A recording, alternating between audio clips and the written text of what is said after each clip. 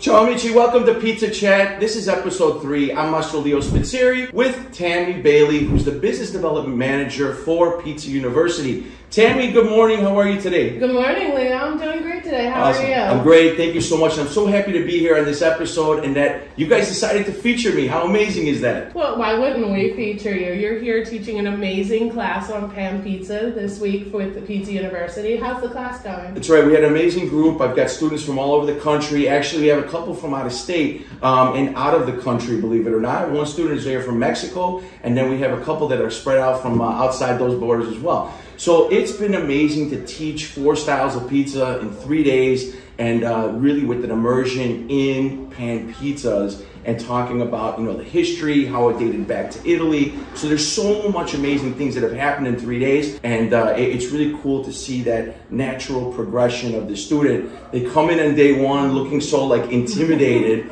and then by the time they get their hands dirty and in the flour and moving around, they just uh, they just kind of change, and that that relaxed vibe is really I, th- I, I think this is like my classes they're very chill very interactive people move around a lot i don't like people sitting in chairs Yeah. so uh, it, it's been a, it's been an amazing experience Well, Leo, you are a wealth of knowledge in all types of pizzas, different styles from different regions. What can you tell me about Neapolitan pizza? Maybe a little bit about the history and where we are today in America with our Neapolitan and neo Neapolitan styles. so you know the thing about neapolitan pizza is this right in italy it's recognized as as uh, one of the principal styles because we say pizza started in napoli but when we say that it goes back like 300 years right, even before like so what we have documented is this information in a time when there was no refrigeration, no electricity. So the basics being the basics. And to me,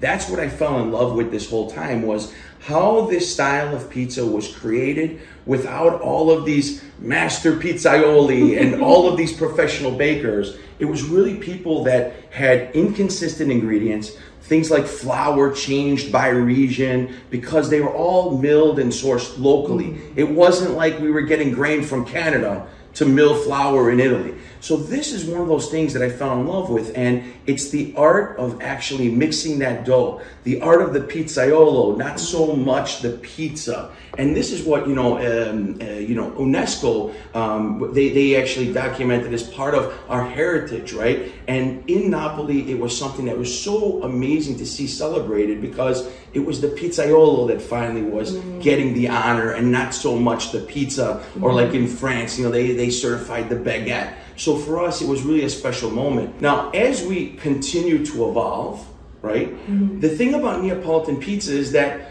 there there's really this this movement of not tinkering with it, right? We don't want to see too much innovation. We want to keep things as traditional as they were 300 years ago. Right. So even though we're now in this day and age where we have refrigeration and all these other things, it's really important for us to continue to focus on those ways of the past and continue to move them forward because the art and the skill is in understanding the day, what it's like, the climate, is it raining out, is it hot out, and how to adjust that dough and manipulate it.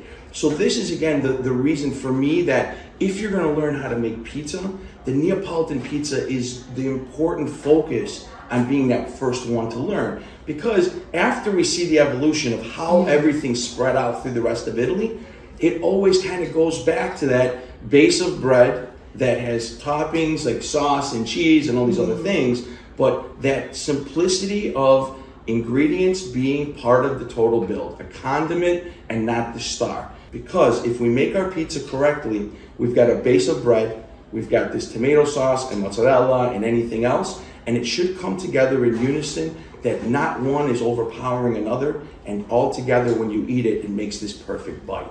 I know that you mentioned your training that you went to in Italy. Congratulations, you are AVPN certified. Um, that is very exciting. Can you tell me a little bit about, for those who don't know what AVPN is, what maybe some of their uh, qualifications are that you need to meet in order to become certified, and a little bit about your experience in Italy? Sure. So you know, I've been um, I've been going back and forth to Napoli for man a very long time. My family's from Calabria, Italy, and to say that I spend more time in Napoli than I do in Calabria, maybe I'm going to upset some of my family back in Calabria, but it really is the truth. I fell in love with Neapolitan pizza very early on, and then when you go into Napoli and you feel the culture and the vibe of the people, like Napoli has this rhythm, mm-hmm. right? And it's really like you can't even describe it until you're there. People talk about going to like New York and hitting Times Square for the first time, right? And Times Square in New York and Manhattan, they have that vibe. Napoli is the same way, and I fell in love with that so early on. So for me, once I started recognizing that there was this thing called the AVPN, Associazione Verace Pizza Napoletana, and what they do is they started around 1984, right? right? They're about to celebrate their 40th anniversary. Mm-hmm. So to think that for 40 wow. years, there was a group of people that were like minded, all looking in the same direction to say, let's look and respect the traditional Neapolitan pizza the way it began, right? right? And then all of a sudden, now to say that the AVPN will actually certify equipment that can be mm. used to make their pizza wow. or an ingredient that will be used that came from the right area in Napoli or Campania or Italy, right, mm-hmm. to make this pizza properly. And I think it's those controls and those guidelines. There's something called the disciplinaria, right? Okay. And this is kind of like the Bible of the AVPN. Wow. Every piece of the pizza is described in this manual from how to make the dough. The dough recipe is literally published it's not a secret, right, right? right? How to process that dough, how to make it, how to hold it. Every parameter of the dough is listed out. Then we get to the baking of the pizza, the oven temperatures, the size of the ovens, the dimension from the floor to the top of the dome. All of these things, again, are really important because this pizza needs to bake in under 90 seconds, right? Wow. Because after 90 seconds, the pizza changes. It becomes drier, it becomes crispier right? So all of these parameters are really important so that there is a level of um, uh, consistency throughout the world. And it doesn't matter if you're in Italy, if you're in Japan, if you're in the United States, it's always the same. So the AVPN has a very important role in protecting this pizza. Mm. And I became um, I became an, an ambassador um, to the Midwest. There's a there's a, a, a, number of us in the United States that are promoting why the Neapolitan pizza is so special, right? right? And for a guy like me, it's very easy because I love this style of pizza. Right. Even though I started out as a guy making Chicago stuffed pizza and the whole deep dish nonsense and all this like that's where my roots came from. Yeah. But really, when I go back to Italy, where my my parents, my grandparents, mm-hmm. everybody was from, I'm first generation Italian American here. I learned Italian before I learned English. So again, for the United States to say that now we have pizza makers, we have pizzerias that are so into this pizza to say that we want to be certified where the association comes out or a guy like me comes out and says, I'm going to give you proper training to make this pizza the right way. I'm going to give you all the tools that you need that once you're well, once you're on your own, mm-hmm. you can make that dough. The dough sits ambient. We never refrigerate it, right? right? You can stretch the dough properly. In Napoli, in this style of pizza, Napolitana pizza, we use this method called the slap method mm-hmm. or a schiaffo, right? And even the way that we slap this dough is very important to the outcome of the base of the pizza. Mm-hmm. So again, we have it a very important role, but I think that the movement has changed over the years because it seemed like in the 90s, Neapolitan pizza in the United States started getting like a bad rap, right? Not that it was a bad thing, but for the American market, mm-hmm. it's a pizza that's softer, right? It's not a crispy pizza. It's a pizza that sometimes, compared to American styles of pizza, seems scantily topped, right. right? Like it doesn't have enough ingredients. But I think that as now this whole movement in America and around the world has gone to more of an artisan product, mm-hmm. something that's not so commercial, I think that that's why people are coming back and saying, well, you know what, there's a lot of skill into knowing what the temperature of the day is and forecasting what that dough is going to look like in mm-hmm. 24 hours because that's truly the life of our dough. If you went to a pizza or a pizzeria in Napoli, right, Mm-hmm. that dough you would maybe start using it at 11 a.m. when you start, let's say, pranzo, your lunchtime. But then, if you're the pizzaiolo that's working through the dinner shift, Mm-hmm. that pizzeria could be open till 10, 11 p.m., maybe midnight, depending where you're at. So all of a sudden, that same exact dough has to be just as good for that pizzaiolo working at night, where that dough might have 18 to 20 hours on it, Right. as it was at 11 a.m., where that pizzaiolo maybe has a little bit easier job because the dough is at its perfect point. The dough balls are still nice and round. By the time we get to those pizzas at night and we look at the dough ba- uh, balls inside the box, sometimes they look like squares because they're so proofed up, they're touching each other, they raise up, and it takes some skill to learn how to manage a dough that um, maybe to some people would seem sloppy, right? Right. And this is where the art of the pizzaiolo comes in. So to me, yes, the AVPN has a very important role, not only in Italy, not only in Europe, but here in the United States as well. We have delegations in Los Angeles where the headquarters for the AVPN USA, or I should say AVPN North America, Okay. um, sits. Um, and then uh, also with Mexico, so it's Americas, right? Right. And then there's a delegation in Atlanta, right? Um, that we have a, a beautiful uh, uh, facility there as well. And then, you know, there's always these talks as I travel around doing consulting that people say, you know what, Leo, you talk so passionately about Neapolitan pizza. Um, I would like to explore this as an option for my first pizzeria. And I love that because that gives us a signal that people are starting to look in our direction and we've inspired people to say this is a really beautiful pizza that we make and we understand the art that goes behind it Absolutely.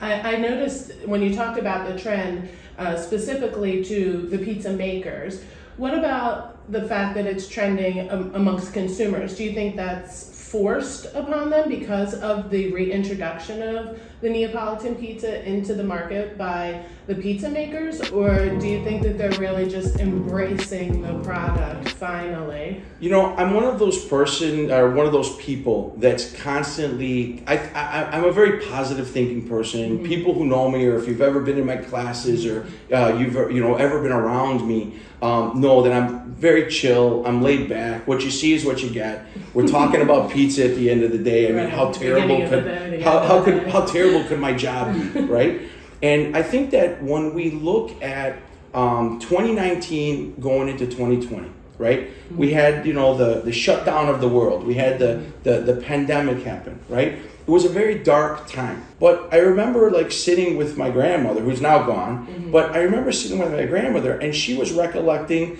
like times like when she was small a little girl talking about like when they had the time of the Spanish flu, right? Uh-huh. And the world kind of did this same kind of shutdown.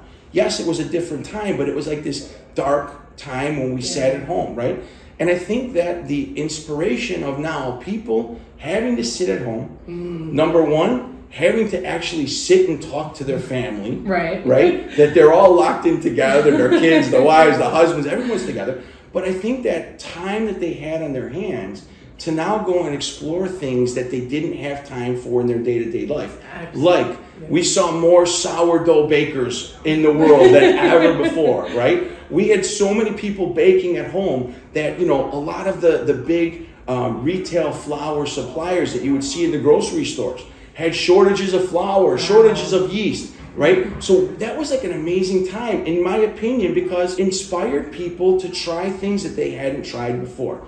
We're in a time now where there's more home bakers getting their first backyard pizza oven, right? yes. Or a tabletop oven. There's so many different types of ovens that are out there. Things like mixer companies, like you know, like you have dough mixers. Right. These mixer companies, right? Having now equipment that mimics the uh, like the professional things that we use, like spiral mixers that work in your house, being able to plug into the outlet that you plug in your regular yeah. blender with. So all of a sudden, to see that people are interested or passionate enough about pizza mm-hmm. that they're going out to try to buy the same things that the pros are using. And that's why to me, it's like, you know, if this was able to happen in this, you know, 12, 18 month period, whatever the, the, the whole pandemic thing went with, right? That means that guys like me, and there's so many people that do what I do as far as educators or uh, mentors or whatever you want to title me as, right? But I really think that it goes back to this that people work in these day to day jobs, right? Yes. Maybe they're working a job that they don't love. Right. And all of a sudden, it's like, if I can light just this little spark under you to say, hey man, you got hands, you can stretch though, you can see that you love doing this. How cool would it be instead of going into a, a cubicle every day of your life to be a bean counter or whatever you want to call yourself, right. right? All of a sudden they say, I'm doing something with my hands. I'm mm-hmm. doing something that I love. I wake up in the morning excited to go to work. And that really is the same thing that happens with me. Like, I wake up in the morning saying, man, I could be digging ditches for a living. I make pizza for a living. How awesome is my life, yes. right? and I think that it's that little spark that sometimes say, I'm going to go, you know, I'm a consumer at home and maybe I'm a weekend warrior or whatever you want to call me that makes pizzas on the mm-hmm. weekend or bakes bread on the weekend. And all of a sudden it's like, could I potentially do this for a living, right? Pizza is having its renaissance right now. It really is. And, and that inspirational part from people like us or you know the work that we're doing uh, with pizza university for example inspiring people that are outside of our industry to take a look behind the curtain mm-hmm. and really see what's here what's involved and that yes you could do this all you need is the courage Absolutely. to make that first jump and that's right? one of the things that i really like about our instruction at Pizza University, you can be a professional chef. You can be a home cook. You can be someone whose passion was just ignited through uh, through the pandemic, through research, through experience. It's wonderful that you can come into a class and feel comfortable no matter what your skill level is. You know, and in that same comment, it's a, really a testament to what we're doing because the people showing up for our courses, and it doesn't mm-hmm. matter if it's me or another instructor, the people that are showing up for our courses are not all professionals. Right. So obviously, we're getting the message out. People are saying, hey, you know what? This might be an option for me. And if you have a career, maybe you lost your job or whatever it might be, this might be that perfect time for you to say, well, let me at least take one class. Right. Let me spend a couple days with a pro that knows how to do all these different things. Let me do some homework and ask all these questions, right? Mm-hmm. And then all of a sudden, you see these people by that third day, that intimidation of day one is gone. Oh. I, I, start my classes, man, I'm really fast. Not that I'm fast, but I, I have a lot of strength in my messages, yeah. right? And when people sit in those classes, sometimes I feel like I'm slicking their hair back because I'm going so much information at them. But all of a sudden, by the end of day one, they look at each other and they're like, man, I don't know what I just wasted my money on mm-hmm. because there's no way I can do this. And I tell everybody, you know what? Tonight, chill out. Go back to your hotel or go back home. Go through the notes that you took today, reread them. There's going to be questions. There's going to be things that you wrote that you don't quite understand what you wrote. And tomorrow morning in class, we're going to start day two and we're going to sit and we're going to do a recap and we're going to make Q&A questions back and forth. And I'm going to answer everybody's questions. And all of a sudden, that morning, it's like that, that first sleep, right? Mm-hmm. On day two, they come in and they say, man, you just literally connected all of these dots. It's a different person by day two. Yes. By day three, all of a sudden, when I take a step back and I tell them, look, set up the oven, get the prep table ready. We need to make tomato sauce. We need to get the dough ready. All of a sudden, you see people moving around on their own, mm-hmm. right? And this is where all of a sudden that buzz, that vibe, that that pride comes from. That wow, look at this. I started out two days ago not knowing anything or feeling like I made a mistake to now being able to start day 3 mm-hmm. and now I'm doing this on my own. Or we're not going to be able to teach you everything in three days. No. But if I give you the tools to go home and play around on your own and try different flours and say, I'm going to go to the grocery store and this is all that's available. And I remember Leo saying to do this, mm-hmm. and I'm going to mix the dough by hand or I'm going to mix it with a mixer or whatever it is. All of a sudden, there's that first look on their own that, you know what, I think that this might be the thing for me. And that's what I love about this whole thing. It doesn't matter if you're a professional or you're an amateur at home, we're all the same, right? Absolutely. And I think that that's what's so cool about what we do. Leo, thank you so much for all of this amazing information. I know you're going to be joining us back at PT University right. in July for another class. If anyone wanted to attend your class or any of the other upcoming classes, how would they reach out to do that? So the easiest way is um, go to the website, uh, pizzauniversity.org. Um, you can check them out. Instagram is the, at the Pizza University. You can go and send me direct messages. You can check out all my pizza content and recipes and all that under Ask Chef Leo across social media. Um, but there's so many cool things happening. So I would say go to the website, check out the courses. If you have a question or anything's going on, call Mariana, call you, and uh, let's get everybody here as soon as they can. Absolutely great. Thank you so much. Thank you for having me. It was so wonderful. Thank you.